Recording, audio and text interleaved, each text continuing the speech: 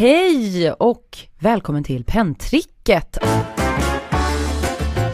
Kan du ha en clementin mellan låren utan att det liksom blir, att den känns som att den ska squeezas? För då har du det här bra mellanrummet. Jag fick väl ut någon slags, inte njutning, men något positivt utifrån att han njöt av min kropp. För jag fick bröst kanske när jag var åtta år, men sen liksom var den stor, fullvuxen och hängig när jag var tolv. Jag, Sissi Wallin och Natasha Blomberg, mer känt som Lady Damer förresten.